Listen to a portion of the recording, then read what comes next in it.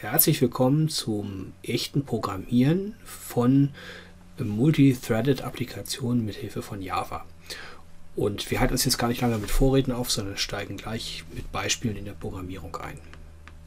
Also, ich habe hier mal so einen Programmrahmen für Sie vorbereitet, einfach eine leere Klasse, äh, Threads Example und äh, da bauen wir jetzt ein paar Programmierbeispiele rein. Ich mache wieder eine Main-Methode, public static void main und äh, mache hier mal eine Ausgabe sout ähm, hello world.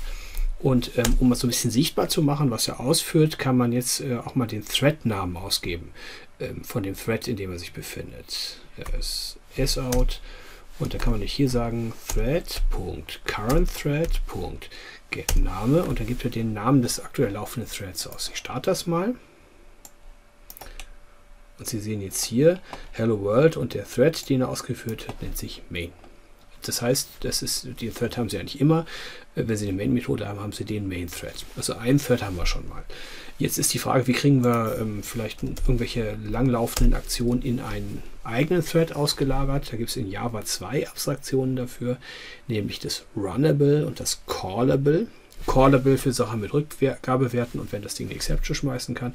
Runnable, wenn Sie nur einfach so eine Aufgabe, in Task ähm, parallel ausführen wollen, aber das Ding eigentlich keine äh, Rückgabedaten hat. Zumindest liefert Ihnen das Runnable da nichts zu.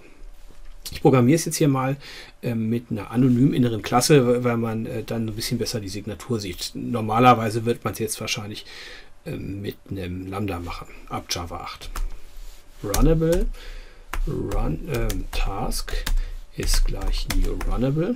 Deswegen jetzt anonyme innere Klasse. IntelliJ generiert mir schon alles, was ich brauche. Sie haben hier die Run-Methode und jetzt kann er da ja auch wieder was Interessantes ausgeben. Zum Beispiel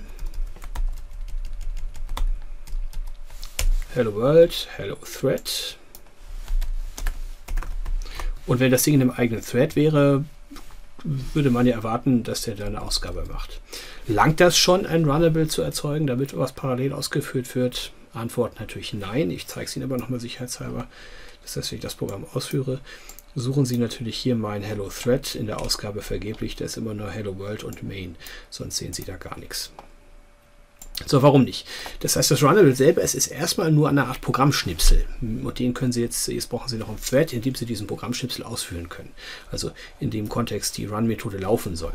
Ähm, vielleicht hier schon mal gleich ein Hinweis, ich wiederhole das jetzt gebetsmühlenartig noch ein paar Mal. Machen Sie den Code der Run-Methode auf keinen Fall zu lang.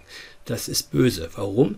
Äh, weil Sie den Inhalt der Run-Methode schlecht mit dem Unit-Test testen können. Sondern was ein normaler Entwickler tun sollte, ist hier die Run-Methode, den Quatsch, der da drin steht, in eine Methode auszulagern. Dann können Sie die Methode einzeln testen und die Run-Methode nehmen Sie nur so als Handle, damit man halt äh, das Ganze nachher in einen Thread reinstopfen kann.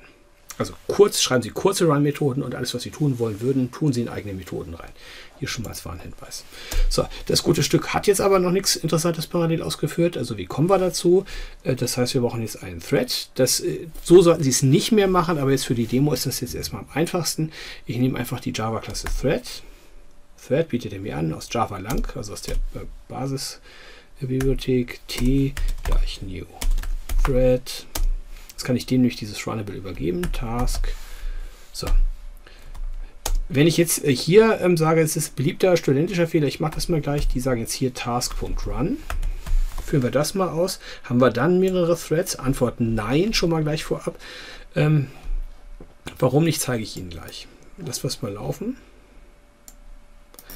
Jetzt sehen Sie hier Hello Thread, das ist das hier mit, und jetzt sagt er hier Current Thread Get Name ist ein Main Thread, Hello World ist auch ein Main Thread. Blöd, aber ich habe doch hier versucht, was parallel auszuführen, diese tolle Run-Methode. Aber wenn Sie jetzt, äh, der, der Kommandozeilenaufruf, äh, der, der Aufruf in dem Programm äh, ist ja hier, also alles, was Sie hier reinschreiben an Aufruf, ist ja im Main Thread drin und läuft ja nicht in dem Thread T drin. Das heißt, wenn Sie die Run-Methode hier einfach diese zwei Zeilen ausführen, dann ist das hier im Main Thread drin. Ähm, ich kriege da also erst eine Parallele aus, wenn ich hier nicht statt, äh, statt dem sage Start. Führe ich das mal aus, kurz. Mach mal einen Start. Wenn Sie jetzt gesehen haben, das habe ich hier wirklich den Thread gestartet. Und jetzt sehen Sie hier Hello World, Hello Thread, Main und hier haben wir Thread 0. Also jetzt haben wir wirklich zwei parallele Threads. So, ähm, vielleicht gleich am Anfang, ähm, was könnte man äh, stattdessen noch machen, wenn man was ausführen wollte. Äh, in dem Thread, äh, also dass Sie gleich die Alternative sehen. Das ist callable. Muss ich mir gleich den Rückgabewert überlegen. Also was könnte der Thread produzieren? Zum Beispiel String könnte das zurückgeben. Call äh, Task Task 2 ist gleich new callable. Und dann sehen Sie hier, das wäre sozusagen die Alternative, äh, dass ich jetzt was mache. Ich würde was ausführen wollen und das kann dann Exception schmeißen und einen String zurückgeben. Und dann äh, geht aber dieser einfache Aufruf mit dem Task nicht mehr, äh, mit dem Thread nicht mehr. Äh, also das, das müssen wir dann später äh, mit, anderen, mit anderen Mitteln machen. Ich lösche das mal. So. So, schauen wir uns äh, den Thread nochmal genauer an. Also wenn wir das Programm äh, starten, sehen es terminiert alles. Das heißt, Sie haben hier Hello World, Hello Thread und das Programm ist terminiert. Sie sehen hier kein Rot mehr. Wenn Sie jetzt wollen, äh, dass das Programm länger läuft, ähm, also dass der Thread äh, was tut, äh, dann dürfen Sie hier in den Thread keinen Return oder sowas reinschmeißen oder keine, und es darf keine Laufzeit-Exception geworfen werden. Also immer wenn Sie Return sagen oder Laufzeit-Exception, in der Run-Methode schmeißen, äh, dann terminiert ihn der Thread. Das heißt, wenn Sie einen nicht terminierenden Thread wollen, braucht ihr eine Endlosschleife. Also wie bei jedem anderen reaktiven System auch. Äh, nicht terminieren, Endlosschleife, terminieren, dann halt mit Return oder mit, ähm, mit einer Exception den Kontrollfluss verlassen. Das heißt, wenn ich jetzt hier mal eine Endlosschleife einbaue,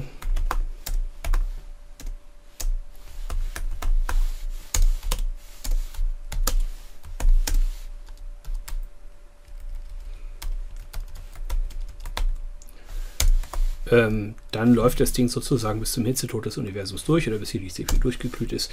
Ähm, vielleicht sollte man den noch so ein bisschen ausbremsen, dass der die CPU mal wieder freigibt. Das kann man normalerweise machen, indem man hier ein Sleep einbaut. Das heißt, ich würde jetzt hier ein Time, Time Unit Seconds.sleep von mir aus 5 Sekunden einbauen.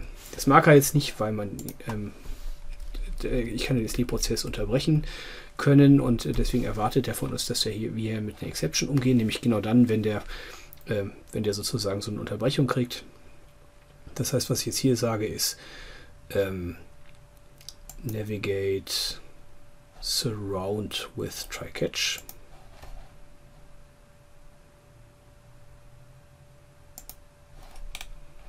Ich überlasse es jetzt hier mal bei dem bei Stack Trace, das müssen wir eigentlich geschickter handhaben. Ich behandle in einem der späteren Videos äh, nochmal eine geschicktere Möglichkeit, jetzt wirklich den Thread auch äh, gescheit zu terminieren. Also dieses While True ist sicherlich gefährlich. Äh, da müsste man irgendwie abfragen, ob der Thread äh, so ein Interrupted-Signal gekriegt hat. Also normalerweise würden Sie da jetzt sowas reinschreiben wie Not is interrupted äh, oder sowas. Und mit der Exception müssen wir sicherlich noch geschickter umgehen. Aber jetzt haben wir mal die Endlosschleife reingebaut. Wenn wir das Programm jetzt mal starten,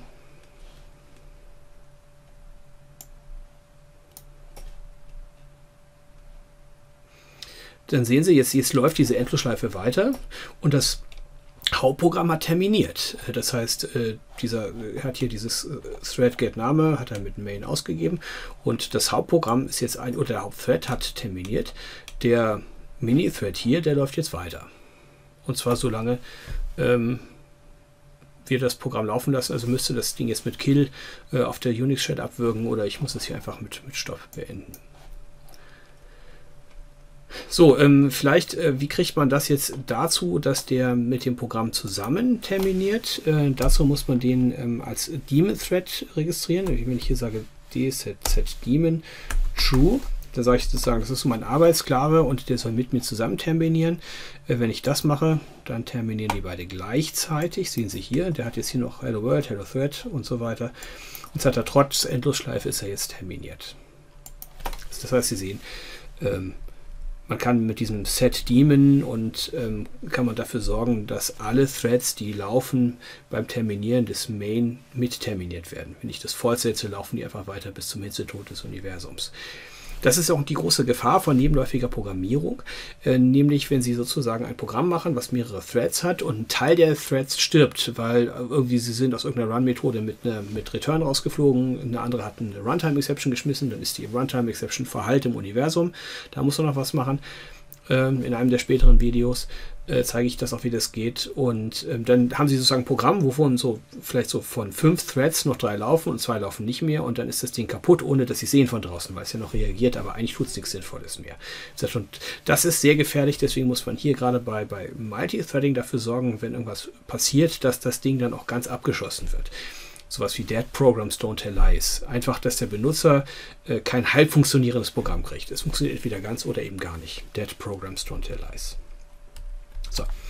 Vielleicht, so jetzt haben wir sozusagen mal einen Kontrollfluss parallel gehabt, äh, oder eigentlich ja zwei mit der Main-Methode. Ähm, jetzt kann man davon natürlich beliebig viele starten. Ich mache hier nochmal einen zweiten Thread auf. T2 Thread gleich New Task. T2.start. Wenn wir das starten, haben wir sozusagen denselben Code in zwei Threads ausgeführt. Und das kann man jetzt hier sehr schön auf der äh, Konsole sehen, äh, Hello Thread, Hello Thread, Thread 0, Thread 1. Und es kommt in irgendeiner zufälligen Reihenfolge halt Thread 0 und Thread 1. Was Sie da an der Ausgabe sehen, ähm, ist jetzt so ein so zufälliger Mix aus beiden äh, Thread-Ausgaben. Ähm, also wenn ich das Ding mehrfach starte, kämen eventuell andere Ausgaben nacheinander. Ähm, das, was Sie da sehen, ist so ein bisschen dieses Thema Nichtdeterminismus. Das heißt, abhängig von diversen Umgebungszufällen ähm, wird mal der eine, mal der andere Thread ausgeführt. Äh, also das heißt, ich könnte wahrscheinlich, oder ich hoffe, dass das nicht so ist, äh, wahrscheinlich, wenn ich das Programm ein paar Mal starte, jeweils immer andere Ausgaben erzeugen. Das ist die Ausgabe, Reihenfolge ist zufällig. Ähm, das heißt, das ist so eine nicht deterministische Aus, Ausgabe. Das, also Nicht-Determinismus ist eines der Probleme bei Threads.